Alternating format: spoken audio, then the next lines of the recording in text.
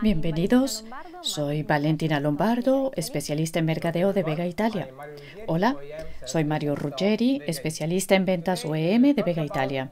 Nuestro tema de hoy, las mediciones tecnológicas para un procesado eficiente del tomate. Veremos una planta procesadora de tomate y analizaremos algunas etapas en las que el nivel y la presión son importantes. Y, Valentina, ¿podemos empezar? Sí. Ok, muy bien. Podemos empezar y lo haremos con estas imágenes de Mario y yo cuando chicos.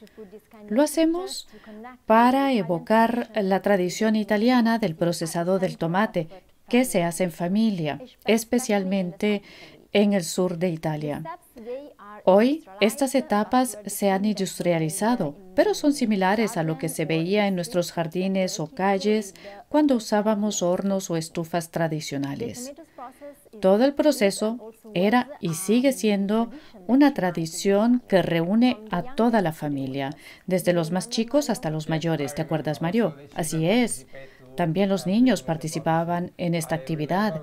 Recuerdo que era un chico un tanto inquieto y mi tarea consistía en mantenerme tranquilito, sin quebrar ni arruinar nada.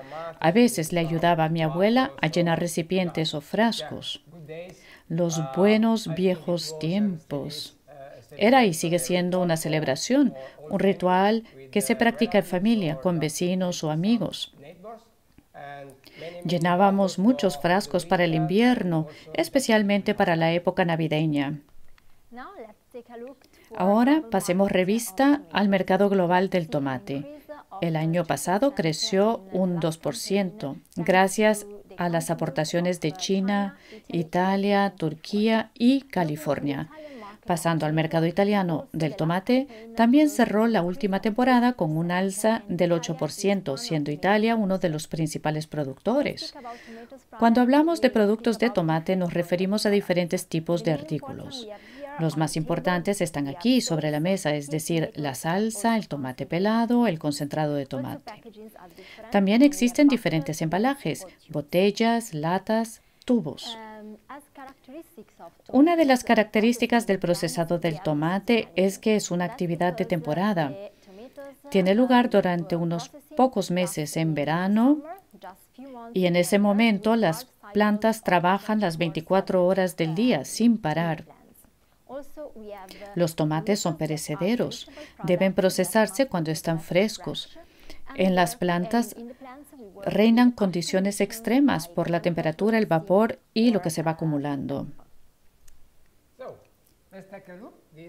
Esta animación nos muestra una típica planta de tomates. Valentina, quizá notemos mucho tráfico. Aquí tenemos las distintas etapas del proceso. Primero, la tolva de carga, a donde llegan los tomates, con un primer sensor que mide el nivel. Luego tenemos el túnel de lavado, donde lavamos los tomates. Luego viene la etapa de selección, en la que se retiran los tomates dañados o los que aún no están maduros. Luego tenemos la desactivación enzimática. Aquí la temperatura alcanza entre 85 a 100 grados y luego se procesa el tomate en función del producto final deseado. Se pela, se corta, se trocea, se refina. Una aplicación fundamental es el evaporador, que extrae el agua en exceso y regula la densidad del medio. Se le conoce también por grado Brix. Después viene el pasteurizado, luego la máquina de llenado. Existe gran variedad de máquinas de llenado. Pueden ser llenadores rotativos o de pistón en función del embalaje del producto. Acto seguido, la etapa del empaquetado y la esterilización. Desde luego también se tratan las aguas residuales. Durante el procesado del tomate es preciso medir el nivel. En esta parte de la presentación queremos mostrarles cómo la tecnología del radar puede optimizar el proceso. Estas imágenes reflejan una escena histórica. Vemos un procesado doméstico con diferentes puntos en los que el nivel es importante. representados por los puntos amarillos. Aquí tenemos un tanque mezclador y un extractor de pulpa. Es fundamental que el nivel se mida de forma precisa y constante, pero desde luego siempre existen diferentes retos. El primero es que en la planta nos las vemos con diferentes tipos de producto y de consistencias. Es porque procesamos sólidos como los mismos tomates o su piel, pero también procesamos líquidos como el agua o la salsa y productos intermedios. En la misma tolva vienen diferentes tipos de consistencia. Otro reto es el rango de medición corto, por ejemplo en la máquina de llenado, cuando el ajuste se realiza a pocos centímetros. Trabajamos con temperaturas de entre 60 y 100 grados, lo que significa adherencias de condensación y vapor. Los procesos de limpieza en las plantas son fuertes por los chorros de agua de alta presión. En la mayoría de los casos, los dispositivos y los sensores también están sujetos a este tipo de procesos. A continuación, Mario nos mostrará cómo funciona la tecnología de radar. He aquí una típica aplicación de nivel. Les presento una tolva normal que encontramos en las plantas procesadoras de tomate. Tenemos dos dispositivos distintos para medir el nivel. El primero de tecnología de ultrasonido conectado a su pantalla y el segundo de radar. Lleva una pantalla para una visualización en grande y para parametrizar el instrumento. En el fondo de la tolva se encuentra un interruptor de nivel capacitativo que detecta el nivel mínimo. Esta tolva puede situarse antes o después del túnel de lavado, después del extractor de pulpa o de la máquina peladora. Y aquí observamos el reto ya mencionado por Valentina, los distintos medios y otras características a las que se enfrenta una medición de nivel. Conectamos nuestra máquina y como pueden apreciar, van llegando muchos tomates a la tolva. Puedo seguir agregando tomates y como vemos, la medición de ambos instrumentos sigue funcionando bien. Y como apreciamos dentro de la tolva, hay una fase líquida y una sólida. Por tanto, podemos medir la salsa de tomate, o también el tomate en trocitos. A veces estas tolvas se instalan por fuera de la planta e interviene la radiación solar, especialmente en temporada de tomate, es decir, en verano. Simulemos la radiación solar en la tecnología de ultrasonido. Y como vemos, en la pantalla, la medición cambia enseguida. A veces el sensor pierde la medición. Ensayemos lo mismo con el radar. La tecnología de radar no se ve afectada por la radiación solar.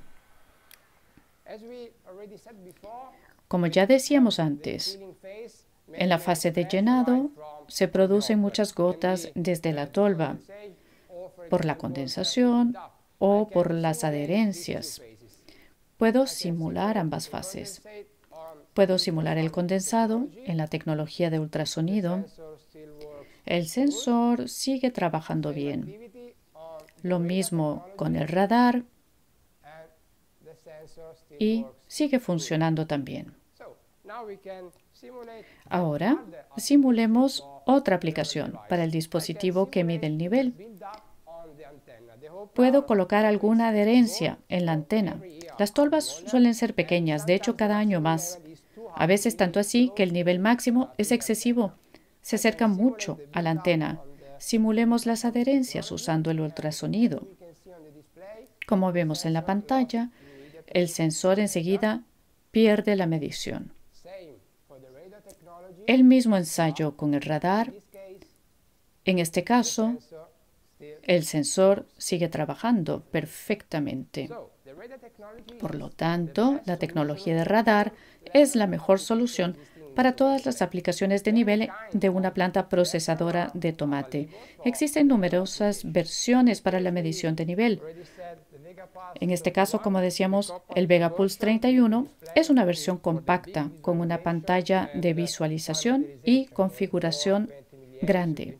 Por ejemplo, para la salida de 4 a 20 miliamperios, por ejemplo, puede modificar la aplicación ya sea 0 o 100%. La serie VegaPulse es ultra compacta. Aquí, por ejemplo, tenemos el VegaPulse C22 con una conexión por cable lateral y la protección IP68. Ambos dispositivos se ajustan con rosca. Existe una versión con abrazadera para adaptador higiénico de la rosca a la abrazadera de 2 pulgadas, por ejemplo. Ambos dispositivos pueden soportar 80 grados y 90 grados durante algunos minutos, lo que es bueno para el proceso de limpieza. El rango máximo es de 15 metros. Para otras aplicaciones, el VegaPulse 64 aguanta entre 130 y 150 grados durante una hora. Y desde luego también puede llegar hasta los 200 grados para aplicaciones muy exigentes. Contamos con una variada gama de conexiones a procesos. Tenemos la versión con rosca, de abrazadera, brida, el conector en collar y lo que soliciten el cliente o el sector. Ahora volvamos a nuestra planta y hablemos de presión. En el procesado de tomate existen diferentes aplicaciones que exigen una medición de presión. Con esta animación queremos describir una aplicación clásica, la de un tanque mezclador. El sensor de presión se halla en el fondo. La abrasión del tomate puede suponer un desafío o también la forma en que el agitador roza el depósito. Estas imágenes reflejan el efecto de la presión del agitador en el depósito, en el depósito y en la membrana. Esta imagen representa una celda metálica con claros daños en la membrana. La otra imagen es de una celda cerámica muy robusta y los efectos y el estrés de la aplicación visibles en la parte metálica, pero no en la cerámica. Pasaremos ahora a describir y mostrar cómo la celda cerámica resiste a la abrasión. Aquí tenemos un sensor de presión con celdas cerámicas. En el sensor hay un poco de agua. A continuación, someteré a presión la membrana, primero con el cepillo de acero, y veremos el efecto en la celda. Empiezo y como aprecian en la pantalla, el efecto de la presión es visible. Cuando dejo de presionar la celda, el valor en la pantalla vuelve al inicial. Cambio de herramienta y uso este destornillador. Ejerceré presión en la celda y pueden apreciar el efecto de la presión en la celda. Pero cuando me detengo, el sensor puede trabajar sin problema, sin ningún efecto y no se necesita ninguna corrección de compensación. Muy bien, volvamos a nuestra animación para detectar otra aplicación que requiere medición de presión. Se trata del control de bombas. Aquí está la bomba, aquí el sensor que mide la presión dentro del tubo. En esta etapa, la medición de presión está expuesta a una presión creciente o incluso a una presión muy fuerte cuando arranca la bomba. He aquí un ejemplo de la instalación, la serie Vegabar 80. Y cuando el medio llega a la celda, lo hace con bastante fuerza, produciéndose un pico de presión en la celda cerámica. La serie Vegabar 30, una versión compacta en otra aplicación bastante próxima a la bomba y cuando esta arranca se produce un pico de presión en la celda cerámica. En cuanto a la abrasión, podemos ofrecer otra demostración de resistencia a la sobrecarga en la celda cerámica. He aquí nuestro Vegabar 38 con una celda cerámica y un rango de medición de 10 bares. El manómetro mide la presión dentro del tubo y el cilindro hidráulico simula la presión dentro del mismo. El Vegabar 38, en este caso, se conecta con el proceso o con el protocolo IO-Link con dos salidas digitales que podemos parametrizar individualmente, una dos bares y la otra cuatro bares. Ahora lo probamos. El LED se ilumina en verde, sin alarma, el sensor está funcionando. Podemos simular hasta los dos bares en caso de que veamos la luz amarilla o la roja. Dos bares y cuatro bares. Ahora simulemos el pico de presión en la celda cerámica. Disculpa, Valentina, el destornillador no es suficiente. Usaré el martillo para simular el pico. Como vemos, el manómetro marcará hasta unos 20 bares, 10 bares más de lo que soporta la celda de medición. Verifiquemos que el sensor sigue funcionando. El LED se ilumina en verde, no hay alarma. El sensor por ahora funciona. Verifiquemos la primera alarma y la segunda de hasta 4 bares. Muy bien, el sensor sigue funcionando. Si 20 bares no son suficientes, podríamos simular un pico muy elevado con un martillo más grande. Haré lo que pueda con este gran martillo. Reajustemos el manómetro para una medición correcta. Muy bien. Y ahora lo vuelvo a ensayar.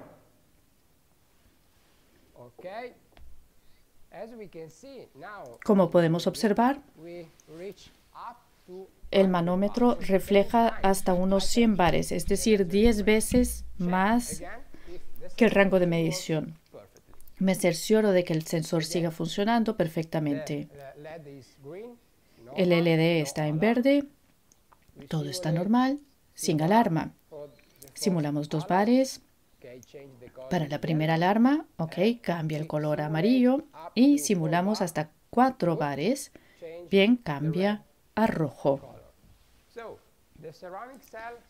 De modo que la celda cerámica es la solución ideal para todas las aplicaciones de presión en el procesado de tomate.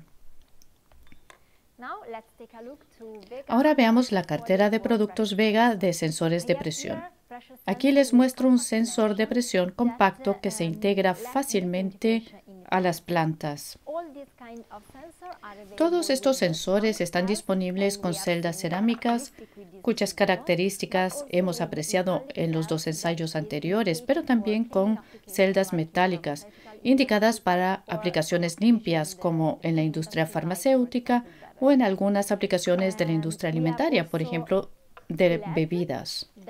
En cuanto al LED, podemos escoger entre 256 colores, además de tener versión con pantalla para una lectura fácil de la medición o esta cabeza de sensor rotativa hasta 360 grados e inclinable en 45 grados que facilita la lectura del valor sin que el operador tenga que situarse encima del punto de medición.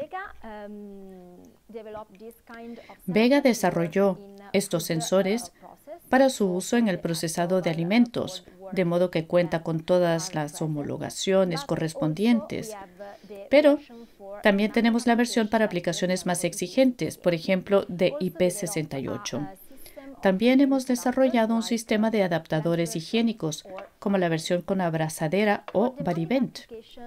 Cuando las aplicaciones exigen altas temperaturas u otro tipo de requisitos, asimismo tenemos la serie Vegabar 80.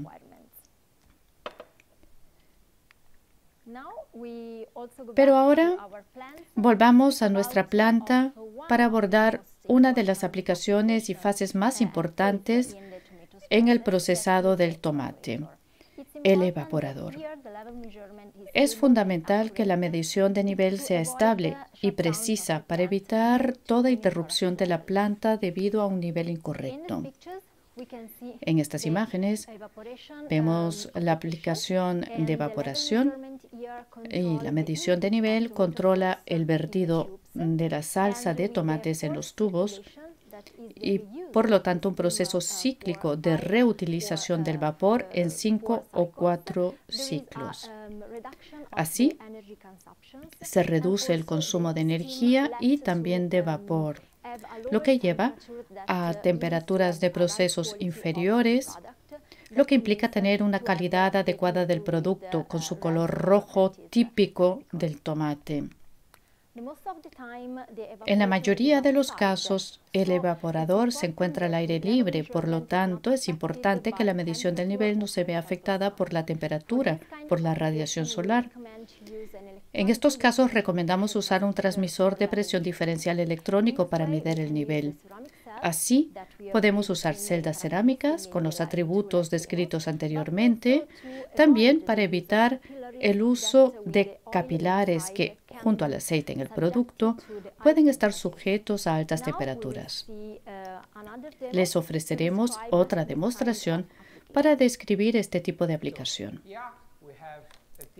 Veremos una aplicación normal de nivel que exige medir la presión diferencial. He aquí el nivel y es posible que aquí, por ejemplo, se produzca sobrepresión o un vacío. Hemos traído dos dispositivos de presión diferencial distintos. El primero es un instrumento convencional de presión diferencial con un tubo capilar y una membrana metálica. El segundo se basa en la medición electrónica de la presión diferencial. Tenemos dos dispositivos distintos. El primero mide el nivel o la presión o sobrepresión del vacío. El segundo mide la sobrepresión del vacío que se forma dentro. Ambos dispositivos están conectados con un cable eléctrico, de modo que aquí no tenemos tubos capilares en este caso. Lo que simularemos puede ocurrir en un evaporador. A veces o normalmente el evaporador está instalado por fuera de la planta procesadora de tomate. Simularé la radiación solar en el capilar mediante un secador de pelo. Como vemos en la pantalla, el valor medido cambia inmediatamente, así el nivel al interior permanezca igual. Puedo hacer lo mismo con los dispositivos de presión diferencial electrónica, pero claro, están conectados mediante cable eléctrico, de modo que esta solución no se ve afectada por el sol.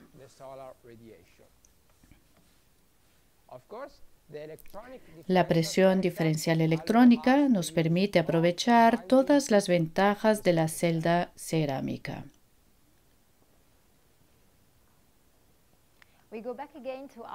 Volvamos a nuestra planta de tomates y hablemos de la medición de interrupción de nivel. Este tipo de medición se usa en varias etapas del proceso, por ejemplo, en el extractor de pulpa o en la previatría o la eliminación de la piel del tomate. Mediante esta animación queremos mostrarles cómo funciona la fase del pelado del tomate. El tomate pasa a la cinta superior y se transporta a la unidad termofísica, donde permanece unos 12 a 15 segundos. Luego pasa una unidad al vacío y cuando choca con el vacío, pierde su piel. La piel pasa a esta tolva donde tenemos interruptores de nivel capacitativos Vega Point que miden el nivel mínimo y máximo. Aquí vemos la planta y nuestros interruptores de nivel Vega Point. Podemos destacar que este sensor trabaja con diferentes consistencias de producto. Tenemos producto sólido o líquido. Además, estas imágenes nos muestran que el VegaPoint también funciona cuando hay adherencias. Para conseguirlo es importante realizar un pequeño ajuste que Mario les mostrará en la última demostración. Así es, pasamos a nuestro último ensayo. Tenemos un VegaPoint 21 un interruptor de nivel capacitativo conectado por Bluetooth a la API Vega Tools. Pueden descargarla, es gratuita. La encuentran en la App Store, en Google Play o según lo requiera su teléfono inteligente o tableta. Simularé, a modo de ejemplo, el nivel máximo de la tolva o dentro del tanque. El LED luce verde Simulo el nivel máximo. El color del LED cambia a rojo. Lo retiro del recipiente y el LED sigue en rojo. Tenemos el primer nivel máximo. Ahora podemos regular la capacidad del dispositivo el estatus de cubierto y descubierto del sensor. Cuando el sensor tenga una capa de adherencias muy grande, le indico que está descubierto. Es decir, simulo el nivel máximo real, aplico los valores de ajuste y como ven ahora, el sensor funciona a la perfección. Ahora veamos los interruptores de nivel de Vega. Aquí tenemos el interruptor de nivel vibratorio Vega Swing en acero inoxidable. No requiere ajustes. Luego están los sensores de nivel capacitativos VegaPoint, muy compactos, para medir nivel de entrada que se integra fácilmente a la planta gracias a su talla compacta. Tenemos el LED, otra característica, que nos permite escoger colores. Tenemos una versión con tubo que puede alargarse hasta un metro. Y tenemos este sensor, el VegaPoint 24, de frontal rasante, recomendado para aplicaciones con medios pegajosos. Y así obtenemos zonas libres de sombras.